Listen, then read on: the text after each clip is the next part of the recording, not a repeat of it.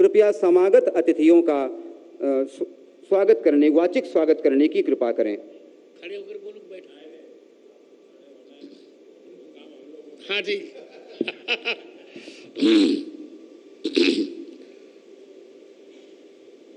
स्वरचित श्लोक से ही मंगलाचरण कर रहा हूँ।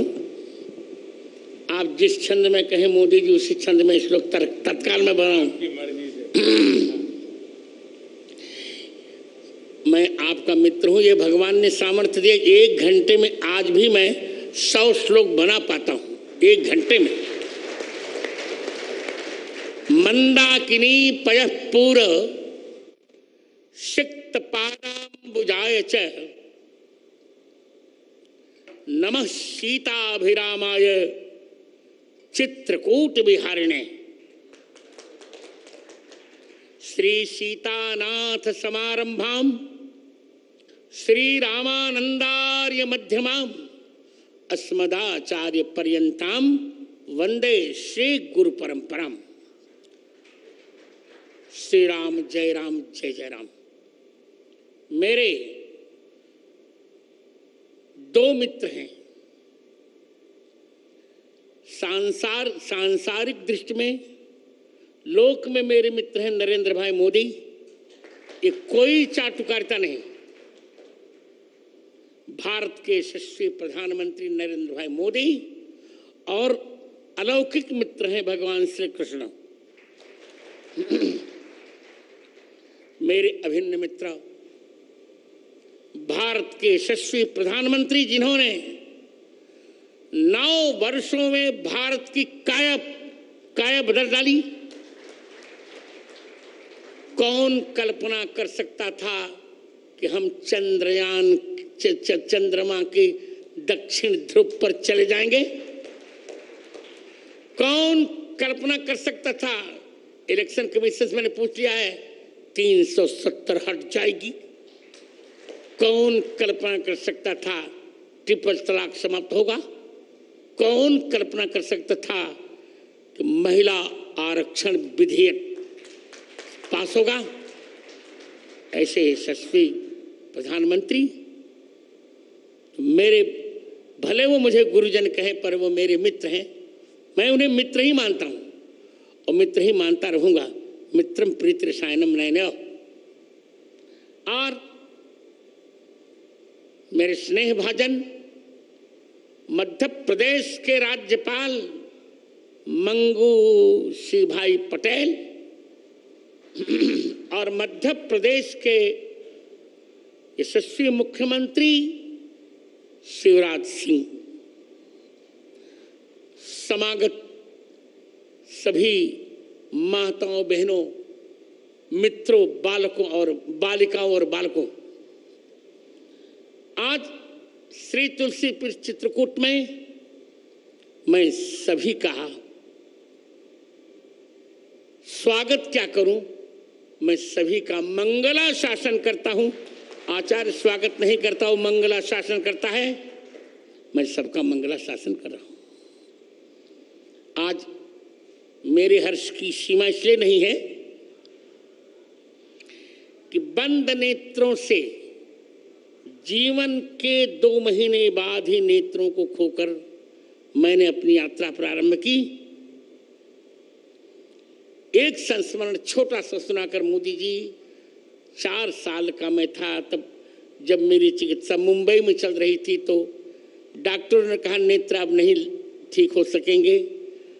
उसी समय मुरारजी देसाई के भतीजे थे, अमोल जी देसाई, बहुत अच्छे डॉक्टर थे, गुजराती जानते थे। उन्होंने कहा, मुझसे मेरा पहला नाम लेकर गिरिधर, उदास मत हो। तुमको दो नेत्र मिल जाएँगे। कौन से? तो उन्होंने गुजराती का एक गीत पढ़ा। गीता रामायण, मारी अंतरनी आंखो, प्रभु ये दीधी छे मैंने, उड़वानी पाखो। मैंने यही मूल मंत्र जीवन में उतारा। जीवन के पाँचवें वर्ष में पूरी गीता कंठस्थ कर ली पंद्रह पंद्रह दिन में। और जीवन के सातवें वर्ष में मैंने संपूर्ण रामचरितमानस कंठस्थ कर लिया। दो आँखें मुझे मिल गई, मित्र। कभी भी मैंने ब्लाइंड कंसेशन नहीं लिया। कहीं भी कभी भी मैंने ब्लाइंड छात्रवृत्ति भी नहीं ली, क्योंकि मैं अपने को दृष्टि बाधित मानता ही नहीं। संतत्व की जहाँ तक परिभाषा है, आपको जानकर अच्छा लगेगा, संत वो जगत गुरु वो होता है तो तीनों ग्रंथों पर भाष्य लिखता है। गीता जी ब्रह्म सूत्र और उपनिषद। आपके स्नेह से मित्र, मैंने 2000 उन्नीस में ही तीनों पर भाष्य लिख लिया था और तत्कालीन प्रधानमंत्री मेरे बड़े अच्छे मित्र, यशस्वी अटल बिहारी वाजपेयी ने उसका लोकार्पण किया था। मैं जगत गुरुत्व की पूर्ण योग्यता मैंने प्राप्त की। और आज की तारीख में मेरे अतिरिक्त भारत में कोई भी ऐसा जगत गुरु नहीं है जिसने तीनों पर भाष्य लिखा हो। ये आपको बताकर मुझे अच्छा लगे कि मैं अपनी बिरुदावली नहीं कर रहा हूँ पर आपको लगना चाहिए कि बंद आँखों से भी कितना काम किया जा सकता है। मित्र, मैंने अब तक 230 पुस्तकें लिखी। जिन तीन पुस्तकों का आप लोकार्पण करने जा रहे हैं, यद्यपि एक पुस्तक और थी, पर मैंने पीएमओ को सूचित नहीं किया था उसका नहीं। जिन तीन पुस्तकों का आप लोकार्पण करने जा रहे हैं मित्राज उनमें से प्रथम पुस्तक है पाणिनि अष्टाध्यायी पर वृत्तित्रयी। पाणिनि अष्टाध्यायी का मूल केवल 25 पृष्ठों में है। उस पर मैंने तीन वृत्तियाँ लिखी उसका कलेवर है नौ हज़ार पृष्ठ। और मित्र, सोचो, मैंने भगवान से भी कह दिया है कि मुझे आँख कभी नहीं चाहिए। और मोक्ष भी नहीं चाहिए। बार बार भारत में जन्म चाहिए। वो भी वशिष्ठ कुल, वशिष्ठ वशिष्ठ वंश, ब्राह्मण कुल में जन्म चाहिए। मित्र, दूसरी पुस्तक मेरी है श्री कृष्ण की राष्ट्रलीला। राष्ट्रलीला तो सभी जानते हैं भगवान की। राष्ट्रलीला कोई जानता नहीं। एक अफवाह लोगों ने फैलाई। कि श्री कृष्ण के परिवार ने मदिरा पान किया उच्छृंखल हो गया। सारे विषयों को मैंने खंडल लिखा उसमें जिसका लोकार्पण आप करने जा रहे हैं श्री कृष्ण की राष्ट्र लीला। और तृतीय ग्रंथ है मेरा जो आज आज के सम, आज के समय में सबसे बड़ा संस्कृत का महाकाव्य है। उसका नाम है श्री रामानंदाचार्य चरितम। सत्ताईस सर्गों का यह महाकाव्य है, उसकी हिंदी भी है। इन तीन ग्रंथों का आज आप लोकार्पण करेंगे।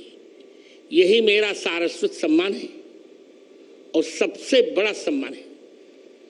मेरी कल्पना में या मेरी भावना में यह है कि मेरे सामने दो दो लोग हों, भगवान राम और भारत माता।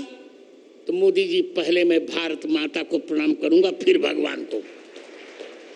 एक वाक्य और बोलकर मैं दूँगा समय। मैंने देख रहा समय हो रहा है। भारत क्या है? लोग समझ नहीं पाए। भारत शब्द तीन शब्दों को मिलकर बना है। भ, आ और रत। भ माने भगवान, आ माने आर, आदर और र माने रत, प्रेम। जिस देश पर भगवान का आदर भी है और प्रेम भी है, उसको कहते हैं भारत। भरतानाम भक्ति भारतम। तीन भरतों की, तीन भरतों के भजन भक्ति का जो आश्रय है ऋषभ पुत्र भरत, शकुंतला दुष्यंत पुत्र भरत और दशरथ कैकई पुत्र भरत, इन तीनों का जहाँ आदर है, उस देश का नाम है भारत। उसी भारत को हम अब पच्चीस वर्षों में विकसित भारत बनाने जा रहे हैं। बहुत जल्दी पांचवी अर्थव्यवस्था से बन गया। हम बहुत जल्दी तीन अर्थव्यवस्थाओं में भारत को देखने जा रहे हैं। और यह श्रेय मेरे मित्र को जाता है। मैं बहुत प्रसन्न हूँ। समय नहीं है बोलता बहुत, पर समय नहीं है।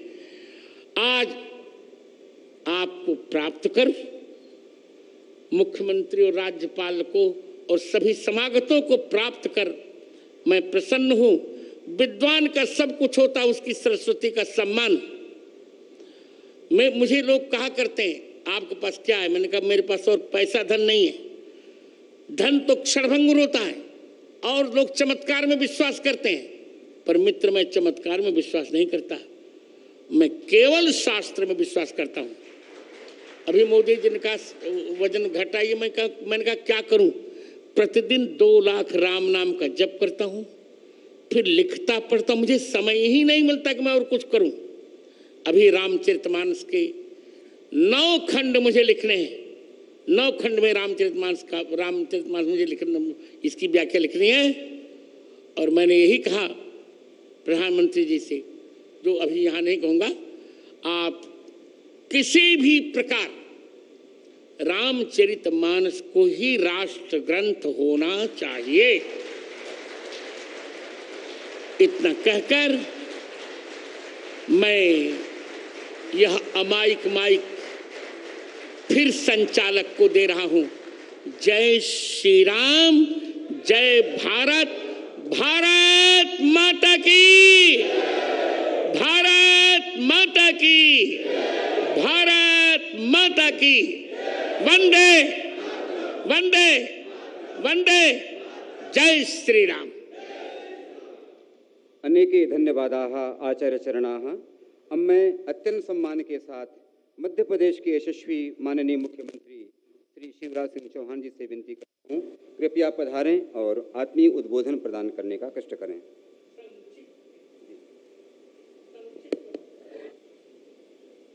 जो दुनिया की अतिथि नहीं हो सकता, वो जिन्होंने करके दिखाया, महाराज जी ने विस्तार से बताया, ऐसे हमारे अत्यंत प्रिय और लोकप्रिय प्रधानमंत्री जिनके नेतृत्व में भारत भौतिकता की अग्नि में दग्ध विश्व मानवता को शाश्वत शांति के पथ का दिग्दर्शन कराएगा, आदरणीय प्रधानमंत्री जी, आदरणीय राज्यपाल जी और आदरणीय महाराज जी, आत्मनुमोक्षार्थ जगत हिताय चाहे जिनके जीवन का लक्ष्य है। भौतिक दृष्टि नहीं है, लौकिक दृष्टि नहीं है, लेकिन दिव्य दृष्टि और प्रज्ञा चक्षु जिनके पास हैं और यहाँ उपस्थित सभी संतगण, चित्रकूट के घाट पर भई संतन की भीड़, तुलसीदास चंदन घिसे और तिलक तिलक देत रघुवीर, आज वही वातावरण यहाँ है। मुझे इससे ज़्यादा कुछ नहीं कहना कि हम अत्यंत हर्षित हैं। हम अत्यंत प्रसन्न हैं। महाराज जी जो सोचते हैं, वो हो रहा है और बहुत जल्दी भारतीय संस्कृति जीवन मूल्य परंपराओं के अनुरूप राज्य और समाज जीवन की रचना कर रहे हैं। हमारे प्रधानमंत्री जी और उनके नेतृत्व में भारत लगातार आगे बढ़ रहा है। उनका मध्य प्रदेश की पवित्र धरती पर हृदय से स्वागत, अभिनंदन। बोलिए भारत माता की।